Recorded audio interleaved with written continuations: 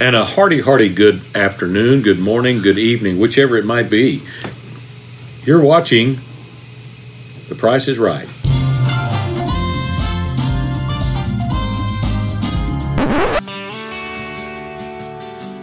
Welcome to this week's edition of Driver of the Week slash Employee of the Week. This is the co-host.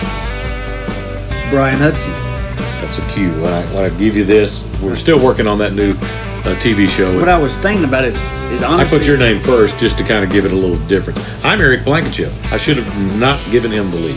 when you think about it, employee slash driver, Uh-huh. you and I are the only two that's can do that. That are both. Mhm. Yeah, but you don't have a jacket to prove it. Neither do you. I You could. I mean, you could get one like I that. don't need one. Right. I don't need. I a- do. A jacket doesn't define me. What if I see something that I want to take and it belongs to someone else? Uh, you will be arrested. But what if I want it more than the person who has it? Still illegal. It does you, but it doesn't me. I digress. Once again, our uh, employee of the week this week is Dave Macey. Uh, Dave runs our interior department. He's our interior manager, and uh, Dave has been with us. Uh, well, I looked it up, but he's been with us twice. He does So- two years on, one year off. Yeah, something like that. He actually asked me. Seasonal. He asked me the other day. Says, "Which date do I use as my anniversary date? The first one or the second one?" I said, "We'll do the second one." We go out and back in. Uh, Dave does all of our interior design. Uh, he lays out scheduling and stuff in there, and uh, some things you might know about not know about Dave. Dave's a big motorcycle guy. Mhm. Uh, loves to ride his Harley Davidsons, and uh, what's something else you might not know? It's phenomenal on CAD on the CAD drawing Yeah. deal. Um, He loves CADs. Yeah, I think he's got three or four of them at home. yeah. What, what's their names? Is that? Did you say CAD or cat? No, I said CAD. The CAD Is there a D in there? There's no D. CADs. That's that North Ridge Oh. uh, twang. Okay.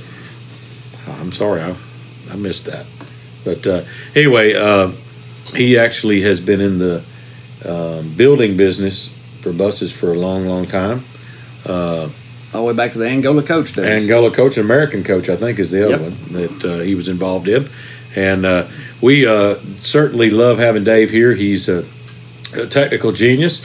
Uh, he can be funny at times, uh, has a good sense of humor, and uh, just all around good guy. And uh, we liked him so much, we fired him once and then hired him back again. is that the way that went? Yeah, Something similar to that. Anyway, he's back, and we're glad he's back. Hello, boys! I'm back! Dave, thank you for all you do for us and uh, interior department helping us design these beautiful buses that people live on, and uh, we thank you. Brian, these touring coaches. touring, yeah. Touring coaches. Well, that's a nice, somewhat jacket you have there. What is that? Like a windbreaker?